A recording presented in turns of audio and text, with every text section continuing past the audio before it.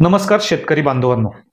स्वागत आहे तुमचं आमच्या यूट्यूब चॅनलमध्ये मी दीपक काशीद आणि तुम्ही पाहताय दीपक काशीद ब्लॉग. आजचा विषय अतिशय महत्त्वाचा विषय आहे. आज प्रत्येक शेतकऱ्याने आपल्या शेतामध्ये सोयाबीनची पेरणी केलेली आहे. पेरणी केल्यापासून सतत पडलेल्या पावसामुळे सोयाबीन पिकाची सध्या अनावश्यक वाढ झाली आहे. सोयाबीनची आंतरकांडी वाढल्यामुळे सोयाबीन शेतकऱ्यांच्या कमरेच्या वर तर काही ठिकाणी छाती एवढ्या उंचीपर्यंत पोहोचले आहे.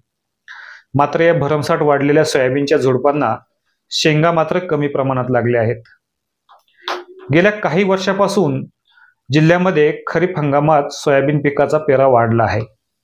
यावर्षी वेळेवर पाऊस पडल्यामुळे खरीपाच्या क्षेत्रामध्ये मोठी वाढ झाली आहे. यामध्ये सोयाबीनचे क्षेत्र मोठ्या प्रमाणात वाढले आहे. मात्र पेरणी हंगामापासून सतत पाऊस पडत असल्यामुळे या पेरणी झालेल्या पिकांना हवेतील नत्राचा पुरवठा मोठ्या प्रमाणात झाला आहे. परिणामी पिकांची अनावश्यक वाढ झाली आहे. अंतर काड्यांची वाढ झाल्यामुळे सोयाबीनची झुडपे शेतकऱ्यांच्या छातीपर्यंत पोहोचली आहेत.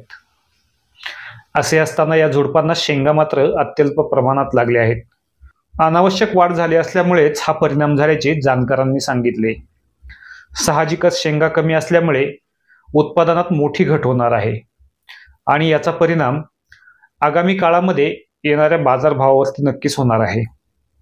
तर शेतकऱ्यांनी आपल्या मालाचे योग्य नियोजन करून योग्य बाजारभाव मिळाल्यानंतरच सोयाबीनची विक्री करावी अशी सर्व शेतकऱ्यांना विनंती आहे. धन्यवाद.